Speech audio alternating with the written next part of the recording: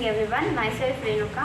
Uh, I want to share my experience about Unnati, Unnati journey because I am very curiosity to uh, when I was joining I was very curious because what what I can learn something new and good every day. We will say in affirmation also.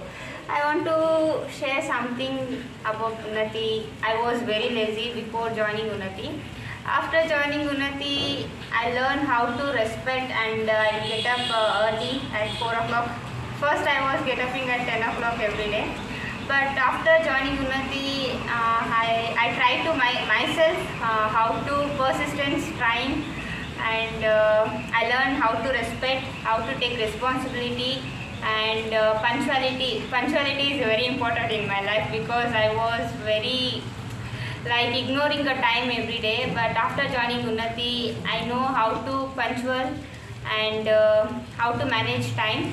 Uh, I am happy because I am learning new things and uh, in my family also they are they are ident- they are uh, identifying me as a responsible person because uh, when I my mom what is change on me because uh, after changing I want to ask my mom because she will tell every she will share uh, with me everything.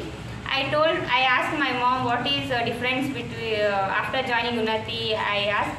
She told uh, after joining Unnati you changed lot uh, about punctuality. You you was very lazy uh, before joining Unnati after joining Unnati you are waking up early and uh, you are doing your work at uh, right time and uh, you will take right decision what you want and uh, this is my Unnati journey. I am very happy and uh, thank you for giving me opportunity. And also I am very excited to take a job because I am very curious now only how it will be experience and different different experience and all. How to manage that time and how to take responsibility how to manage uh, how to respect others strangers. Main in strangers they will come and they will shout and go.